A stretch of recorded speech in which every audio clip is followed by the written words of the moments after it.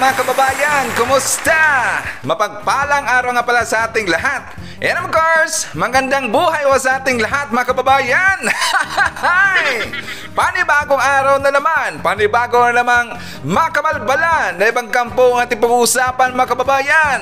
And of course, wala na mahabang intro-intro pa. You'll already know how this is. Si Sir Ivan na naman mga kababayan, nag-iingay sa inyong mga cellphone at saka sa inyong mga TV.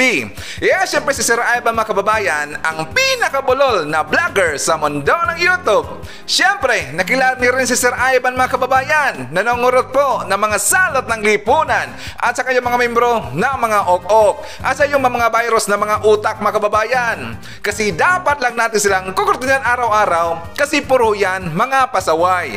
At talang nabibigay po ng problema sa Pilipinas at saka literal mga kababayan. Sila po ang dahilan kaya bumabagal po ang pag-ulad ng Pilipinas. Kaya dapat lang natin silang kukurtinan araw-araw. Kukurtinan natin sila sila kang mamaitim po na mga singit. So how are you today mga kababayan? I'm hoping po na nasa maayos kayo na kalagayan. I'm hoping also na lagi pong napapasaya ang inyong mga araw so tinamibigay po ng mga bagong balita sa Sir Ivan dito sa ating channel. And of course, lagi po itong sinasabi dito araw-araw na dapat stay healthy ho tayo. Stay healthy every day. Iwas kayo doon sa mga taong nagbibigay sa inyo na problema at nagbibigay sa inyo ng mga stress. Kasi alam natin mga kababayan, once na kakaroon ho tayo ng stress sa buhay, dyan po nag-uumpisa ang ating mga sakit-sakit. Kaya dapat lang po, good vibes every day at saka smile lang po every day.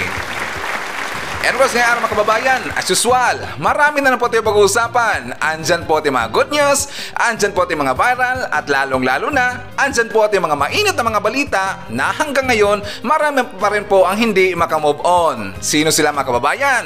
Sila po yung mga salot ng lipunan, yung mga anay ng lipunan, yung mga aliporis ni Nanay Lutang, mga piking DDS at yung mga piking loyalista. Kasi alam niyo naman mga kababayan, yan na po kasi ang kanilang trabaho, ang manira lagi sa Marcos administration sa Pilipinas at saka kay FL Lisa Aranita Marcos. Hindi sila natutulog mga kababayan. 24-7 ho sila na lagi pong naghanap po dito ng butas at laging ipapanira dito kay PBBM. Well anyways, don't worry. Nandito naman po si Sir Ivan mga kababayan at lagi silang binabantayan at lagi silang kukurtin lagi sa kanilang mga, mga maitimpo na mga singit. Dapat lang kasi kay puro sila mga pasaway mga kababayan. So anyways, kumusta po ang lahat? Nakapag-pray na ba mga kababayan? Lagi ko po itong ano, i-remind sa inyo araw-araw kasi ang prayers mga kababayan, lagi kong sinasabi dito na napaka-importante po ang prayers kasi napaka-powerful po ng prayers mga kababayan. Kailangan po natin ng guidance po galing po sa may kapal dahil lalong-lalo na na uh, nag, uh, nagtatrabaho tayo araw-araw at nagtatrabaho tayo dyan rin sa Pilipinas. Kaya don't forget to pray always every day mga kababayan. Very important ho yan. So anyways, isa po sa pag-uusapan mga kababayan, syempre si Maharlika, pag-usapan natin mamaya kasi meron akong isasampal ito sa gonggong nito hanggang ngayon, lagi pa rin pong naninira. Kanina nga lang, mga that is already 4 uh, hours ago na meron siyang live mga kababayan. Alam nyo ba, tinatawag na niya dito si PBBM na isang senator, Senator Marcos mga kababayan, Tingnan yan at saka si, ano, si Madam Efelisa Aranita Marcos ay Mrs. President. At dahil nga na-cancel yung, ano, yung hearing mga kababayan doon po sa Senate tungkol, tungkol nga sa Sibuyas, yung nasangkot po ang pangalan po niyang nagangalang Michael Ma, abay na-cancel mga kababayan. Nag-ingay naman dito kasi ano daw ang nangyari ay delaying tactics daw Delaying tactics ng mga kababayan, pag-usapan ho natin yan. Si, si Marlica mamaya. Isa rin sa ito pag-usapan mga kababayan ay ito pong mga good news galing po kay PBBM kasi meron pong bagong pabahay ang gobyerno natin at saka ito rin ang nangyayari tungkol po sa mama ni ano ni Atom Arroyo makababayan kasi booking na booking na talaga na siya po ay connected po sa NPA. Meron pong nagbisto mga kababayan. So anyway, sa akin nga pala na mga ano, na mga bagong viewers, mga returning viewers, thank you so much nga pala. At sa mga bagong subscribers, welcome to the family. Thank you, thank you so much po for appreciating our channel. Thank you for trusting Sir Ivan. Welcome to the fan, uh, family. Kasama ho natin dito yung mga loyalista. Siya nga pala, bago tayo mag-start, ano, isatapro natin at kumustahin natin ang mga pinalangga po ng mga legends, ang ating mga senior citizen. Hello po, kumusta? I'm hoping po na nasa maayos kayo na kalagayan. Kumustahin rin natin mga kababayan ang mga pinalangga rin natin ng mga Marcos Loyalist. And plus mga kababayan, huwag rin natin kakalimutan, kumustahin natin ang ating mga pinalangga rin na mga, na mga Marcos, no, no, no, not Marcos Loyalist, ang mga DDS all over the world at yung mga Uniteam supporters. Thank you so much. And of course, inuulit ko sa ating mga bagong subscribers, uh, welcome to the family and I love you all. hey! Siya nga pala mga kababayan, dito muna tayo mag-start sa kay ano kay Madam Maharlika. Kasi nga marami na talagang nag-message kay Sir Ivan kasi nga lalong-lalo na ito mga warriors daw, mga mga MDS, mga Maharlika diehard supporter ay kino ano talagang um, Bidabas ngayon si Sir Ivan mga kababayan. Yung ating mga viewers dito dati, eh ngayon parang ano, parang dismayado na sila kay Sir Ivan kasi bakit daw hindi ko ginaya si Maharlika mga kababayan? Bakit daw na ano nag-abulag-bulagan daw ako dito ay meron na daw mga ebidensyang ipinakita si Maharlika tungkol kay Efelisa Aranita Marcos na pwede daw ano ah, para daw sangkot dito sa mga smugglers. Si PBBM rin mga kababayan dinadawit na rin nila na may alam daw sa mga smugglers. Kaya nga siguro sabi nila kaya daw na inupuan talaga ni PBBM bilang sekretary yung agriculture dahil daw isa alam na alam nila at yun po ang pipeline dyan po sa mga ano sa mga smugglers. Once and for all, ating sasagutin niya mga kababayan. Unang-una, bakit ako nanahimik dito kay Michael Ma? Una sa lahat, hindi ko po yan kilala si Michael Ma at wala akong pakialam kay Michael Ma. Anyways, dito lang ako concern at dapat dito protektahan ay si FL Lisa Aranita Marcos, si PBBM at syempre na rin si ano si uh, si Martin Aranita, yung ano, yung kapatid po ni FL Lisa Aranita Mar- Marcos mga kababayan dahil nga dinadawit ni, nila dito na sangkot daw sa mga smugglers. Sangkot ba talaga sa smugglers ano si Martin uh, si uh, Martin Arnita mga kababayan? Sure na ba talaga sila dyan? Sabi nila, sabi nila, Sir Ivan, meron pong ebidensya si Maharlika, bakit ayaw mong maniwala? Unang-una, bakit ako maniwala kay Maharlika mga kababayan? Si Maharlika ay nakabe, nakabase lang po sa mga pinagsasabi ni Montolfo. Doon pala niya kinuha ang kanyang script mga kababayan at sinakyan na lang po si Montolfo. Ngayon, pipiktusan natin yan si Montolfo. Bakit, bakit naman ako maniniwala kay Montolfo? Credible ba talaga na paniniwalaan si Montolfo mga kababayan? Inapakadami niyang cyber libel Nakalimutan nyo ba si Montolfo kung bakit naka-black eye yan nung, tong, nung issue nila sa kay Claudine Barito at saka kay Ray Mart? Naalala nyo ba mga kababayan? At lately lang, maraming siya mga paninira dito, lalong-lalo na kay BP Inday Sara at saka sa Marcos administration. Isa, mag ano, mag-point lang kayo ng isa mga kababayan, meron bang totoo sa mga sinasabi ni Montolfo? Sige nga, isampan nyo kay Sir Ivan kung totoo ba. Doon pangalan sa kay BP Inday Sara, talagang sunog na sunog siya makababayan kasi hindi, hindi, hindi naman kasi totoo ang kanya pinagsasabi dito. Ngayon, tingnan nyo, talagang sinupalpal siya ni BP Inday Sara makababayan. So kailangan, dapat ba natin papaniniwalaan ngayon si Montolfo makababayan? Inapakahilig ho niyan na manira.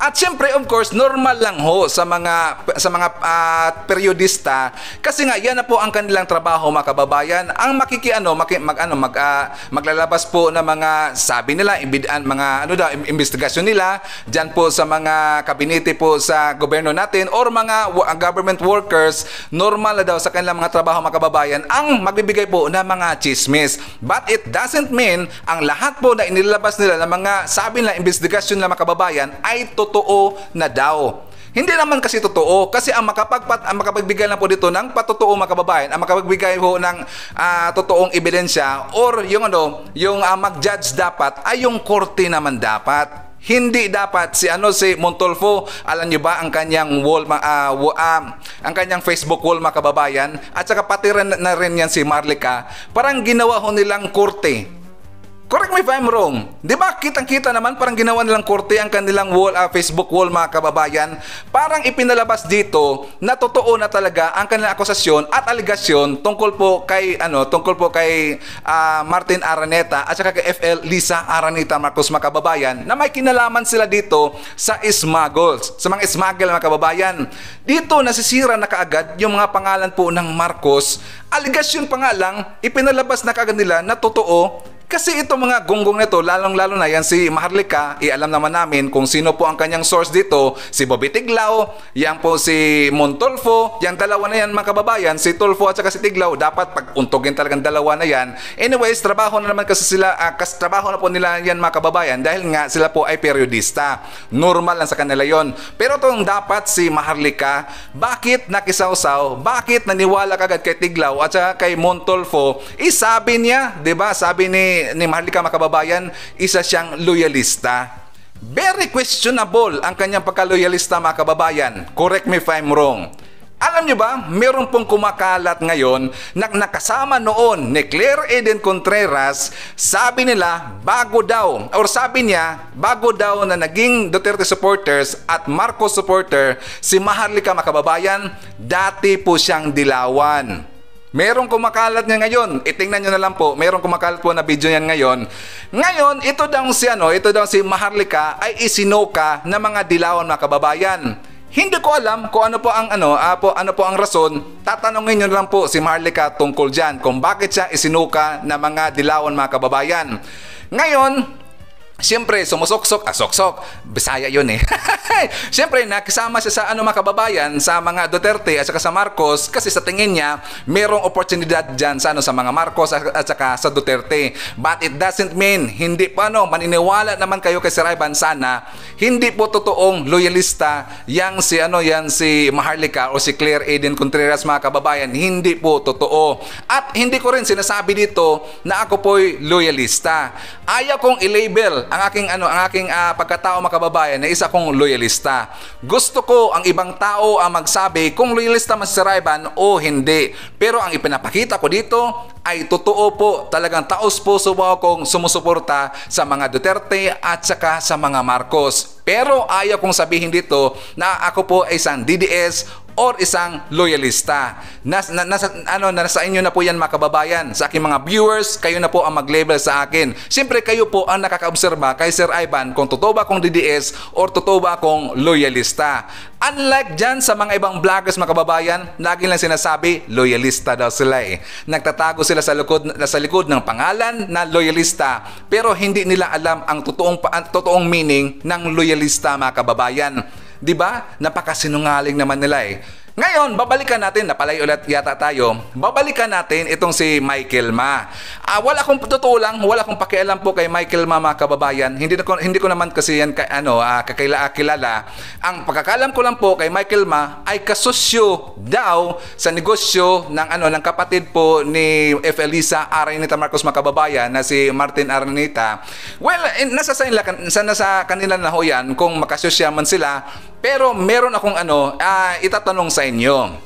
Bibigyan ko ng example, 'di ba? Sabi nila meron silang ebidensya kasi nga merong pictures na kasama po sa picture doon si FL Lisa Aranita Marcos, nandun rin si Michael Ma, siyempre kasama rin doon si ano si Martin Aranita Marcos makababayan. Tita no, tatanungin ko kayo, dapat critical thinking tayo dito. Ngayon, kung meron kayong pinuntahan na isang event man lang o isang kasiyahan, marami kayo ang nagpa-pictures mga kababayan, isa sa nakasama mo sa picture ay isang drug lord. Ibig bang sabihin, isa ka na ring drug lord? Sige nga, pakisagot naman mga kababayan, Ina ano, isa pa example, merong isang swindler na nakasama nyo sa, sa isang picture. Meaning, ibig bang sabihin, swindler ka na rin? Or meron kayong nakasama na maraming utang dyan sa isang picture. Ngayon, sasabihin na ba natin na marami rin kayong utang? Ay, hindi. Joke lang, joke lang. Mapag-alaman tuloy tayo na maraming utang tayo eh. Si Sarayban talaga, pasaway. Pinapatawa ko lang kayo. Ang seryoso nyo eh. ano, bura yun, bura yung last. Ay, hindi, hindi naman, ah, wag yung sa utang. Eh, parang meron tayong pinaparinggan eh. Eh, marami rin namang utang si Sir Ivan eh. so ganun nga mga kababayan. Ngayon, dapat hindi tayo maniwala kaagad. Bago tayo manghusga po ng isang tao na, o oh yan, smug, kasama yan ng smugglers kasi kasama yan yan no, ni Martin uh, ni Michael Ma, yan si Martin Araneta, smugglers rin yan. Ang napaka ano, ang ano lang yung mga kababayan, ang nakaka ano lang na, nakakagalit dito ay yung mga ano, yung mga grupo po ni Maharlika dai ano no, ni, ng mga MDS, yung mga tangasinghot ng utot ni Maharlika mga kababayan, si Gagong Lipunan, yan pong isa basta marami lang mga kababayan na grupo na sila din eh. Ang title kasi at captions ng kanilang ano, ng kanilang vlog ay FL Lisa Aranita Marcos Smuggler hindi ba kayo nasasaktan yan? Do you think kung mabasa yan ni PBBM, hindi siya masaktan? Ako nga na hindi ako loyalista, nasasaktan nga ako na mabasa ko yung maganyan. Ano, idinadawit ka agad ang pangalan ni FL Lisa Aranita na isang isang mag, smugglers mga kababayan, eh, hindi pa nga tapos yung investigasyon, mag-uumpisa pa nga lang at saka dito kay ano, meron akong challenge dito kay Maharlika. Kung sinasabi ninyo na merong ebidensya si Maharlika, do you think credible ba ang kanyang ebidensya? Meron kung ano, ang pinag ano, uh, pinag-usapan dito ay tungkol po sa mga sa mga smuggles, dapat meron siyang maipalabas na isang dokumento, credible na dokumento at konkreto na dokumento na makapagpa ano, makapagpatunay na sangkot talaga at isang smuggler itong si Martin Aranita mga kababayan ang BOC lang po, ang Bureau of Customs ay makapagbigay niyan ng mga dokumento kasi sila po ang nagre-receive niyan. At siyempre, dumadaan yan, meron niyang bill of lading mga kababayan. Di ba? Sa mga taga Bureau of Customs, alam na alam ho nila yan. Sila lang po talaga dito ang credible na dapat pakinggan natin na, na itong si, uh, si Martin Araneta ay isang smuggler. Iwala e, naman ko pakialam dyan kay Michael Mama kababayan. Ang pinuprotektahan ko lang dito, si Aranita at saka si FL Lisa Aranita Marcos at saka si PBBM. Kasi dito pa lang sa, sa, ano, sa sitwasyon po ni FL Lisa, na feel ko na ang nararamdaman po ni PBBM. Totoo lang, Totoo lang mga kababayan, nasasaktan na ngayon si PBBM. Kaya ayaw ko nang manahimik dito tungkol po kay ano kay yang Michael Manayan, tungkol po sa kay Martin Aranita, uh, kay Martin Aranita at kay Efelisa Aranita Marcos, siyempre kailangan na kailangan talaga ni ano ni PBBM ang suporta ho natin. Dapat kay dito, alam nyo, yung election mga kababayan, pagkakala ko nga noon, yun na ang katapos sa ano, yun na po ang last para magsuporta kami sa mga Marcos. Yes, totoo lang mga kababayan, real talk. Akala ko, yun na po ang last, pero hindi naman pala. Kasi ang ano, kasi ang laban dito mga kababayan, yung panahon po ng election, warm up up lang po yun. Inuulit ko, warm up lang po yun mga kababayan. Ito na po talaga ang totoong laban. Ang nandyan na po nakaupo si PBBM. Kasi ang pag-akala namin mga kababayan, ako totoo lang, sabi ko nga noon sa aking sarili, sabi ko, ay napaupo ko na si PBBM. I think finish na po ang aking trabaho dito. Pero hindi naman pala mga kababayan. Ngayon na ngayon na talaga, kailangan po ng, ano, ng suporta namin si PBBM, si F. Elisa Aranita Marcos at yung Marcos administration. Kasi nga, inuulit natin dito, na napalibutan sila ng mga salot ng lipunan mga kababayan. Ayaw na ayaw kong maniwala dyan kay Maharlika, hindi po siya talaga mapapagkano kakatiwalaan. Kasi nakabase lang po siya kay Montolfo at saka kay Tiglao. Yang dalawang gunggong na yan mga kababayan, si Tiglao at saka si Montolfo, dapat paguntugin talaga yan mga kababayan. Yung mga walang kwenta yan eh. So anyways, bago tayo ano, ah... Uh, Bago natin i-continue po ang pag-usapan tungkol si ano, tungkol kay Maharlika mga kababayan, siyempre, i-shout out muna natin ating mga pinalanggap po ng mga solid viewers, mga silent viewers, at yung mga viewers po na hindi po nag skip ng ads ni Sir Ivan. Thank you, thank you so much. I'm very happy na hanggang ngayon, lalong-lalo na sa aking mga solid supporters, mga solid viewers, na hanggang ngayon, sinasamahan nyo pa rin si Sir Ivan at naniniwala kayo sa aking laban dito. Han salute, dalawang han salute talaga yan mga kababayan. And of course, uh, uh, from the bottom of my heart, thank you, thank you so much. Sa mga newcomers, mga new subscribers, welcome to the family. Of course, i-shoutout natin mga kababayan at pasalamatan natin si Ma'am Luida Peralta, nagbigay sa atin ng super thanks or pangkape na 5 US dollar. Of course, mga kababayan, pasalamatan rin natin si Sally Kapili, nagbigay sa atin ng 3 Australian dollar na super thanks. Thank you so much, Sally. Hi to uh, Margaritas Iglesias I-shoutout rin natin si Fe Reyes. And shoutout rin natin si Milagros Dirilo. Sabi niya, Sir Ivan, nandito ako ngayon sa hospital. Sa makalawa pa po ako makalabas pero pinakikinig, uh, pinakinig ko pa rin ang mga news. Uh, pray for me. Ay siya nga pala mga kababayan, ngayon ko lang alam na si Ma'am Milagros ay nasa ospital pala. Si, si Ma'am Milagros mga kababayan, solid supporter ho natin yan at isa rin siyang seniors. Hindi ko lang alam kung ano po ang kanyang sakit pero sabi niya nandun rin siya ngayon sa hospital. Shoutout po kay Ma'am Milagros Derelo. Don't, uh, don't worry ma'am, nandito ka lagi sa aking mga prayers. Alam niyo ba, alam niyo ba, mahirap po uh, paniwalaan pero bago po ako nagbablog mga kababayan, ipinagpray ko po lahat ng aking mga viewers Pinagpray ko lagi at hinihingi ko lagi kay Lord Jesus Christ na sana ang aking mga viewers lahat ay nasa maayos po na kalagayan at meron pong magandang health mga kababayan at hindi po magkasakit-sakit. Yan po ang lagi kong ipinipray lagi kay Lord Jesus Christ bago po mag-vlog si Sir Ivan. Kasi talagang pinapahalagahan ko po lahat po ng aking mga viewers. Mahirap po paniwalaan mga kababayan pero nagpe-pray talaga si Sir Ivan. Ialam nyo naman itong si Sir Ivan minsan yung mukha natin pasaway talaga eh.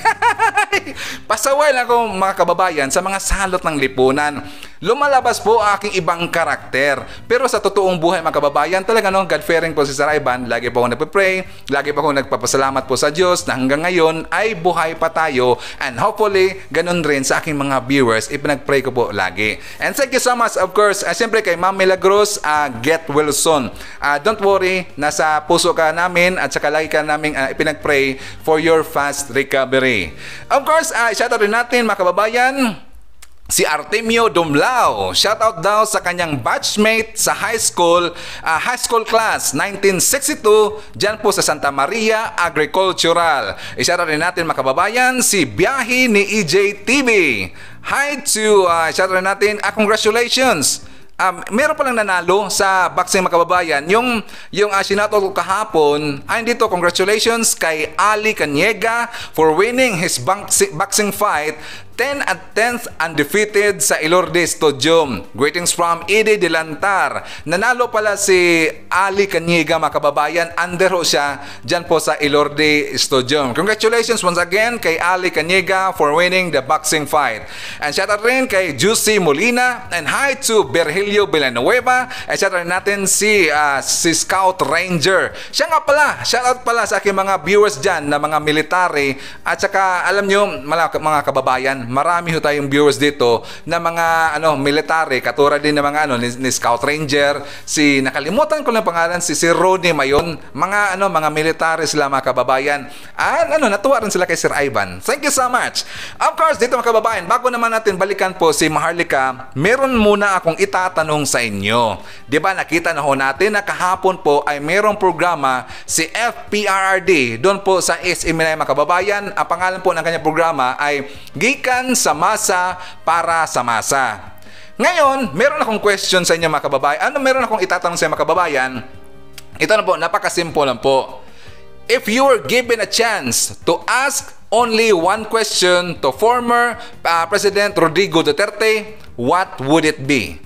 Again, inuulit natin mga kababayan, pakibasan lang po. If you were given a chance to ask only one question to former President Rodrigo Duterte, what would it be? Pag-usapan natin yan mga kababayan. And of course, uh, gusto ko na makita po ang inyong comment dyan sa baba. Paki-comment naman dyan mga kababayan ang inyong mga, ang inyong mga answers tungkol, uh, tungkol sa ating questions dito. Of course, babasahin rin yan ni, ano, ni Sir Ivan mga kababayan.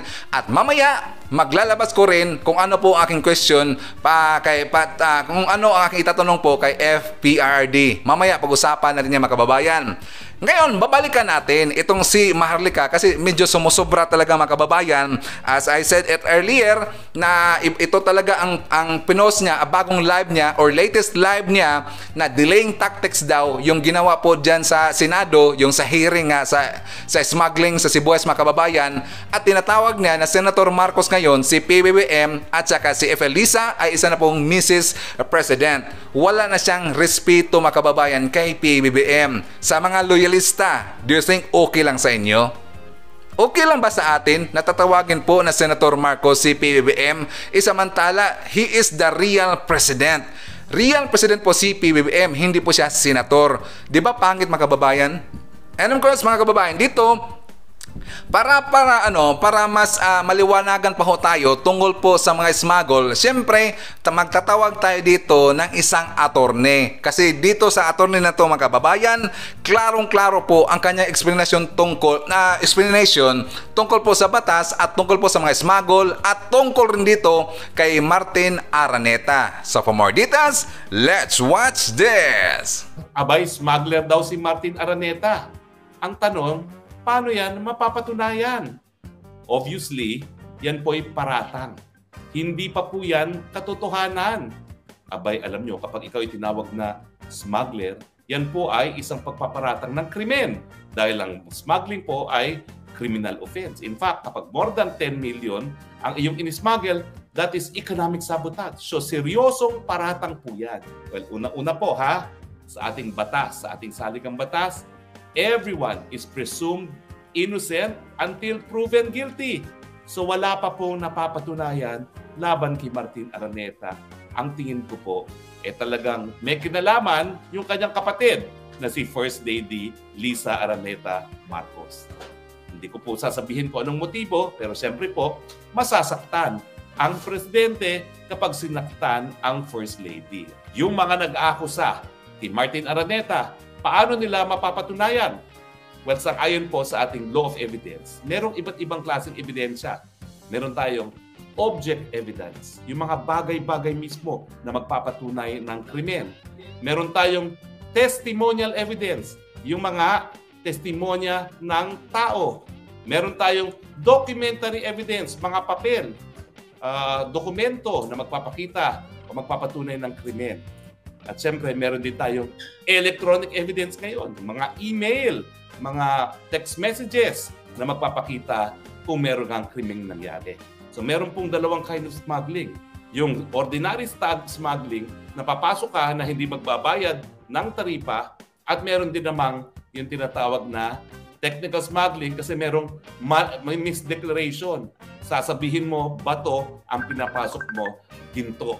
So yun po yung tinatawag na technical smuggling. So, sa mga nagsasabi na si Martin Araneta daw ay smuggler at hoarder ha, ng sibuyas. Anong mapapatunayan? Doon po sa krimen ng hoarding, eh meron po tayong separate krimen. Na ang hoarding ay kapag ikaw ay nagkaroon ng inventaryo na hihigit sa 50% ng ordinaryong inventory mo sa pang-araw-araw na pagdinegosyo. So dalawa pong papatunayan ha, yung krimen ng smuggling at yung krimen na hoarding. So ano ba ho yung mga ebidensya po pwedeng ah, magamit, no? At dapat patunayan dahil ang ang ang ang ebidensya po na patunayan ang paratang ay naroroon sa nagpaparatang, hindi po sa pinagpaparatangan. Malinaw po 'yan, ha? Ang magpoprueba, yung nagpaparatang, hindi yung pinagbibintangan. Ay nako, kapag ikaw po ay nag-angkat at dinaan mo sa ah, shipping line, ano po yung mga dokumento? Meron po yung bill of lading. Yan pong bill of lading ay patunay na meron kang mga ah, kargamento na isinakay sa isang barko. Yung bill of lading po, dual purpose yan. Yan po ebidensya na pag-aari dahil yan po ay bearer instrument. Kapag hawak po yan ng kahit sino, siya yung presume na may-ari. Pero at the same time, yan po yung kontrata rin. Prueba na kontrata sa panig na nag, nagsakay ng, kar- ng karga sa isang ah, ah, barko at yung may-ari ng barko. So nasan po ang bill of lading na di umano ay ah, nag-angkat ng sibuyas si Martin Araneta. Now, dalawa nga po yan. Either hindi nagbayad talaga, in which case, meron pa rin pumasok, pero hindi lang nagbayad.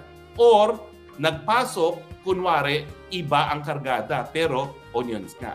Pero dapat, meron pa rin niyang papel kasi hindi po yan makakarating ng Pilipinas kung wala pong bill of lading. Nasaan po yung mga nagpaparatang kay Martin Araneta? Nasaan po ang sinasabi niyong mga bill of lading nang mapatunayan na meron ng ipinasok na mga bilihin si Martin Araneta? Kung wala, kasinungalingan. Di ba po? Pangalawa, Siyempre po, pag ikaw ay nagpadala ng isang kargamento, merong consignor, merong consignee. Nagpadala at tatanggap.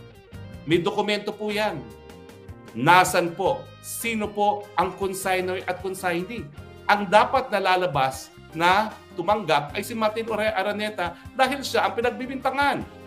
Pero kung wala pong ganyang para ano ebidensya, yan po ay kasinungalingan. Documentary evidence. Ngayon, meron pa pong tinatawag na testimonial. Bakit? Kasi sa customs po, meron silang sistema. Meron silang red alert, meron silang green, yung hindi nabubuksan. Merong yellow, yung may duda, pero hindi naman kailangan. No? Now, usually po yan, depende kung sino consignee. Meron na silang listahan ng mga notorious na nagmi-misdeclare. Kapag ikay kasama sa listahan, automatic bubuksan. So po pwede po tayo maghanap ng ebidensya. Meron bang shipment na naka-address kay Martin Araneta na nahuli na merong misdeclaration? Sino sa customs ang nagbukas ng container na magpapatunay na meron kang pinasok na sibuyas? Meron bang testimonial evidence? Kung wala po, kasinungalingan. Object evidence. Nasaan yung mga sibuyas na pinasok? Ebidensya po yan. Nasaan po? Kung talaga nagpasok ng sibuyas, kailan po pumasok, at kung nahuli, kasi kung hindi naman mahuhuli yan, paano mo mapagbibintangan na siya nagpasok, di ba po? Nasaan ngayon ang sibuyas? Kung wala pa yung object evidence sa sibuyas, kasinungalingan. Now, po pwede pong merong mga correspondence, mga email, mga text messages na nagpapakita na si Martin Araneta nga ang nagpasok o nag-smuggle ng mga sibuyas. Ipakita po ang text messages, ipakita ang mga email. Kung wala po, kasinungalingan. At siyempre yung kriminal hoarding. Saan dinala ang mga sibuyas? Paano mo malalaman kung anong inventaryo ng sibuyas sa pang-araw-araw na negosyo ng warehouse? Now, dahil po ito'y sibuyas, kinakailangan ng cold storage facility. Eh, ilan lang naman po ang cold, cold storage facility sa Pilipinas. Buksan lahat ng cold storage. Hanapin kung merong sibuyas na nakapangalan para kay Martin Araneta. Object evidence, hindi po pwede magsinungaling. Kung wala, kasinungalingan. Napakahirap po na pruebahan ang mga paratang sa araw-araw na buhay at lalong-lalo na sa hukuman. At kung ikaw nga po ay magpaparatang ng isang bagay na kriminal, ang kinakailangan na ebidensya, proof beyond reasonable doubt. Walang kaduda-duda. Pero ngayon po, ang meron lang tayo, paratang. Sapat na ba yun? Well, alam niyo po, really respeto ko po ang mga periodista.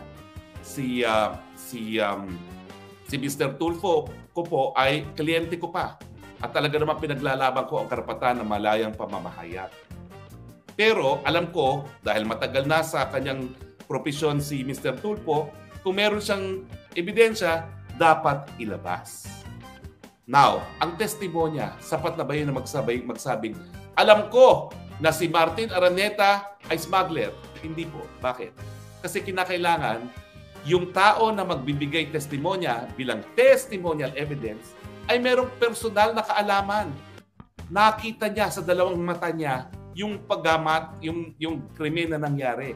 Kapag yan ay nangyari, galing sa ibang tao, ang tawag po dyan, hearsay. Hindi po yan dapat paniwalaan, hindi tinatanggap sa hukuman. Kasi hindi sariling kaalaman ng ta- nagtetestigo ang bagay na yan. Di ba po?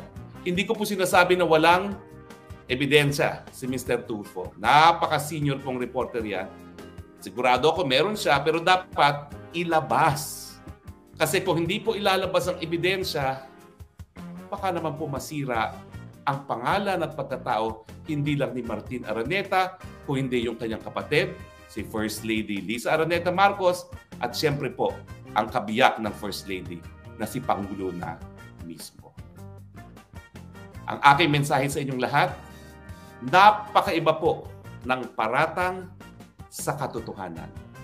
Para malaman natin ang katotohanan, gagamitin ang batas ng ebidensya. Now, meron pong nagsasabi, oh, nag-shout out yung isa.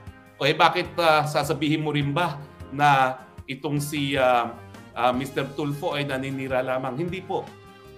Trabaho po talaga ng mga periodista na bantayan ang mga taong nasa gobyerno.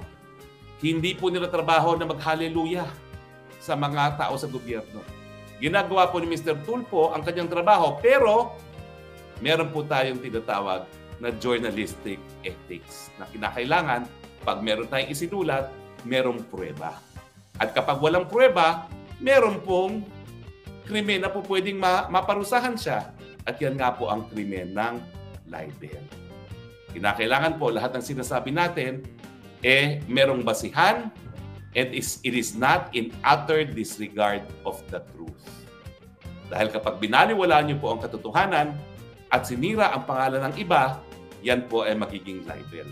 Mensaheng iparating sa inyo, huwag po maniniwala sa mga paratang, tignan po ang ebidensya. Maging kritikal bago paniwalaan.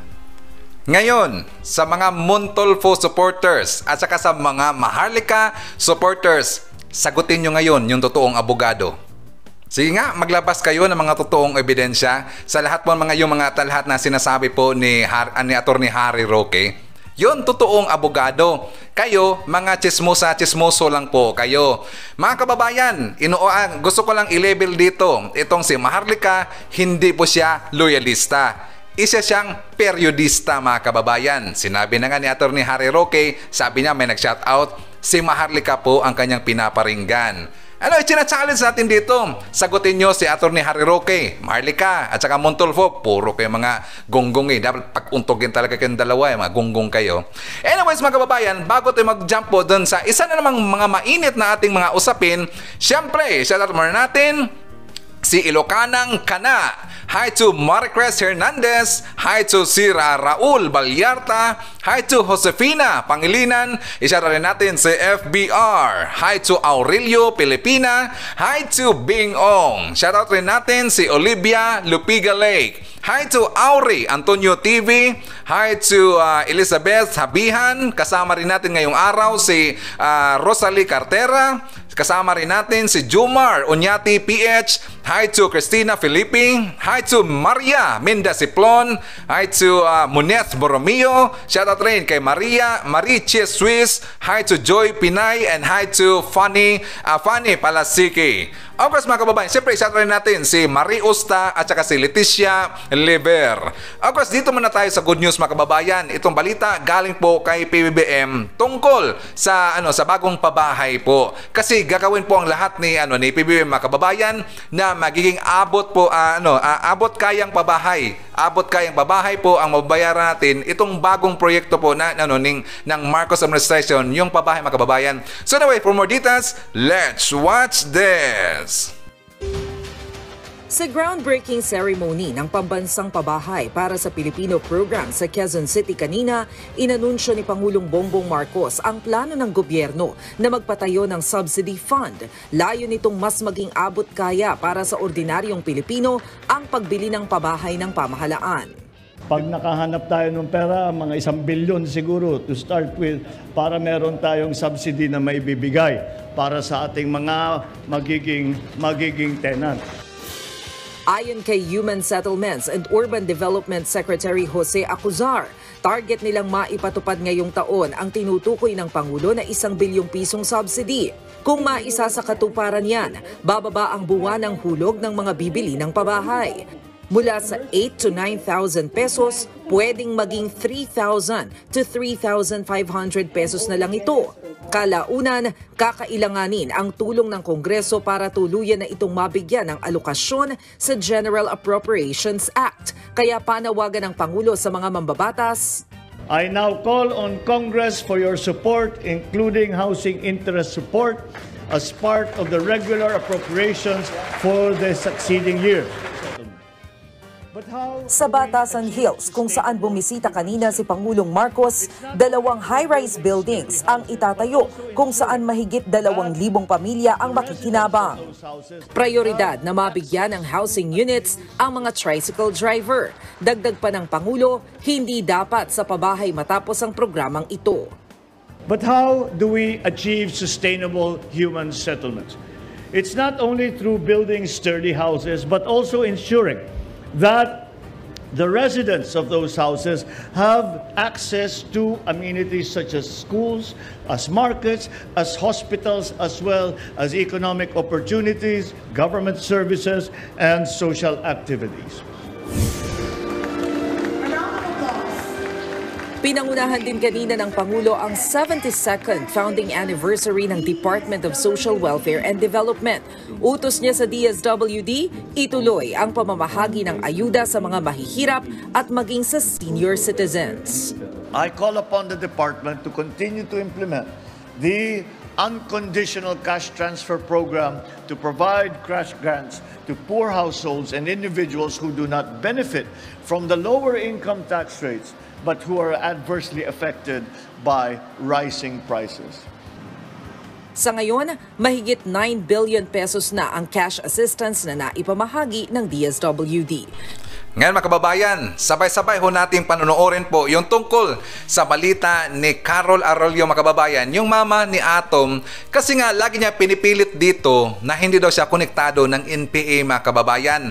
Ayaw niyang aminin. Pero dito, ilalabas ho natin yung ebidensya na mismong nagsasabi dito ay yung ano yung buhay yung ano si si ah, yung si Satanas na si Joma Season mga kababayan mismo niyang sinabi yung grupong kinaaniban ngayon ni, ni Carol Arroyo ay kasama talaga at talagang konektado po ng NPA mga kababayan.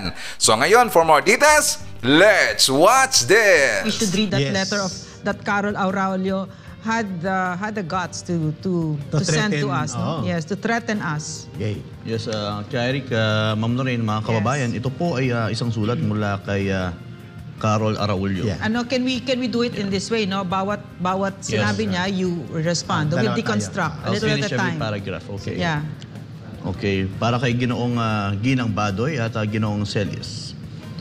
Mula kay Carol Araulio. Napag-alaman ko na nitong uh, mga nakaraang mga buwan ay naging bahagi at paksa ako sa ilang episode ng Laban Kasama ang Bayan.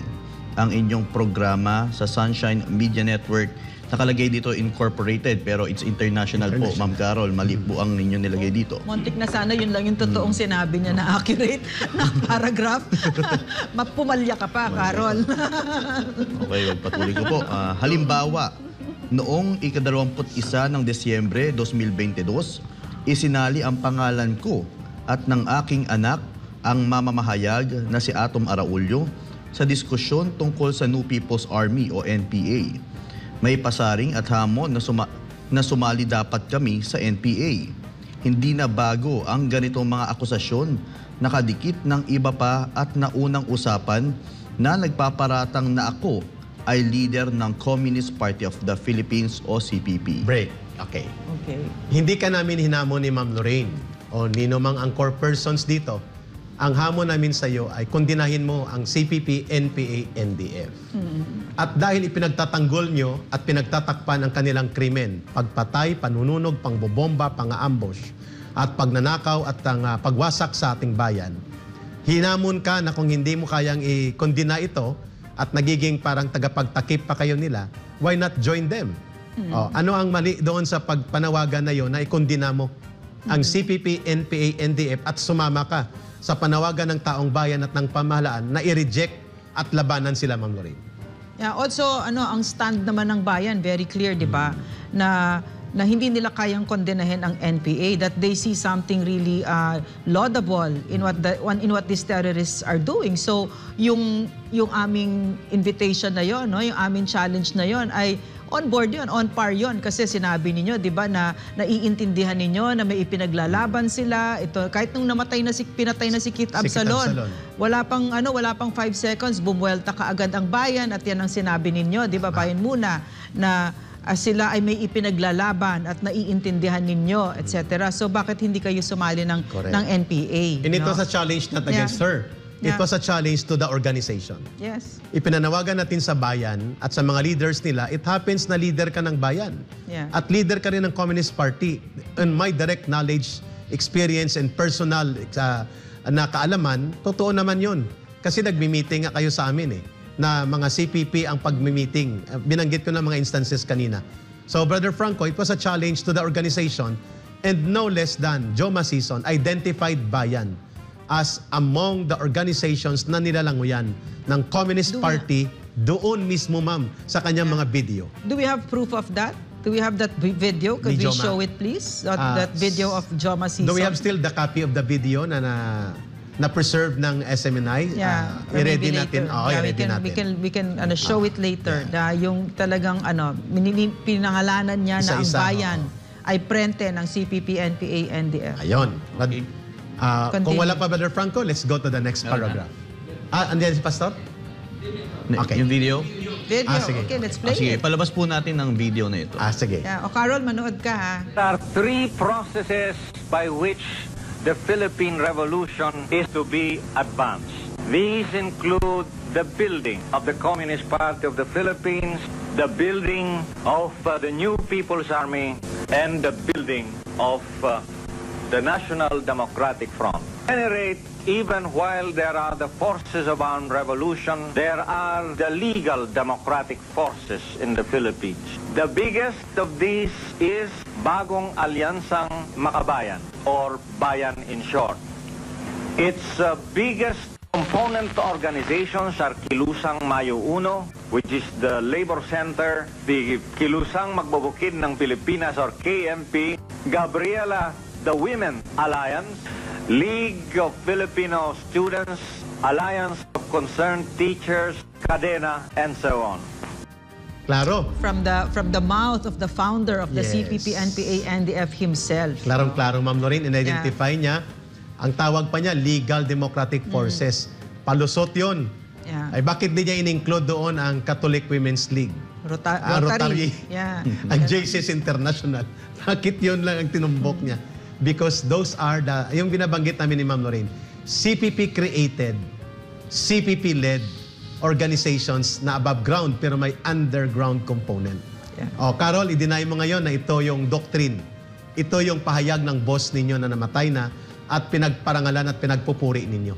So, kasalanan ba ng mataong bayan na ibunyag ng ah, SMNI at ng Labang Kasamang Bayan ang ganitong mga information? That is part ng, pan- ng panunungkulan namin at panunumpa na maghayag ng katotohanan to protect the best interest of security and protection ng sambayanang Pilipino at upang pangalagaan ang ating demokrasya laban sa nagwawasak ng ating kapayapaan at ng ating seguridad. Question, Eric, paano mo sinabi na pinarangalan niya si si Joma? Ayan, ah, kung makuha po natin ang ah, mga footage sa UP na nagbibit-bit siya ng ah, bulaklak ng patay na design ay hammer.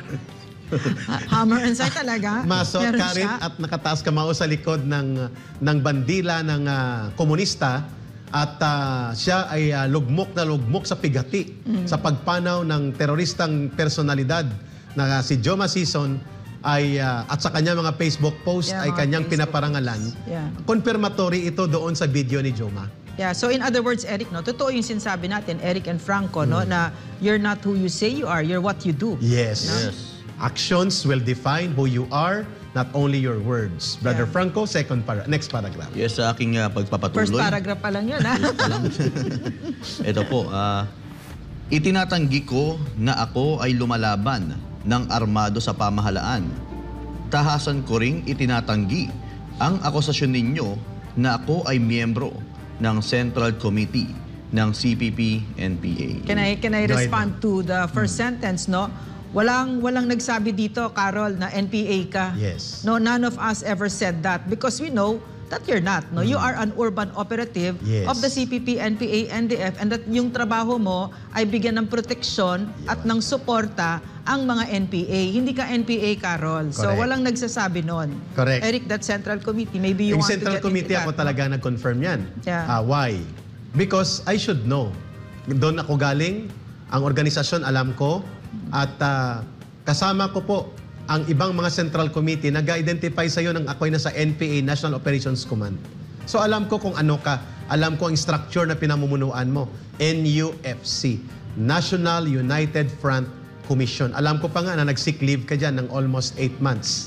Oh, so, Gusto mo pa ba malaman kung anong alam pa namin, Carol? Alam May mga namin. screen caps pa kami ng Yes. mga ng mga ano mo group chat ninyo sa Viber. Gusto mo, Carol? Correct. Uh, pinagpaplanuhan nyo ang movement against tyranny para Yes. pabagsakin si Pangulong Duterte. Mm, yung mga black ops nyo sa akin, alam ko yun, Ayun, Carol, dahil oo. katabi nyo, ano, mga, mga agent na namin yun. ang di ba? nakalagay doon, atakihin natin si Badoy. Yes. At atakihin natin si Parlade para ma-isolate sila sa armed forces. Ang kausap mo nun, Carol, si Teddy Casino Teddy at saka si. Verhel. Yes. Verhel Santos. No? Mm.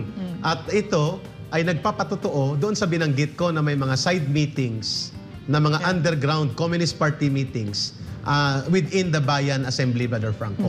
Ang tanong namin sa iyo, pag hindi ka pala NPA at itinatanggi mong Central Committee ka, at madali mo namang sabihin yon, mabigat ba para sa iyo na lumantad in public para itakwil, kondinahin, at ipanawagan ang paglaban ng sambayan ng Pilipino sa CPP, NPA, NDF at kondinahin mo rin at itakwil ang kanilang panununog, pagpatay, pangbomba at pagwasak sa ating bayan, pagpatay sa mga sundalo at polis.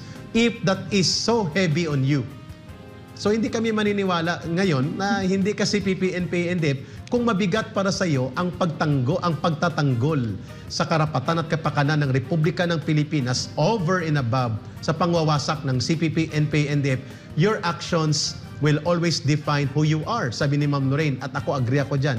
If you cannot condemn CPP, NPA, NDF, it will only be convenient for you to deny outright.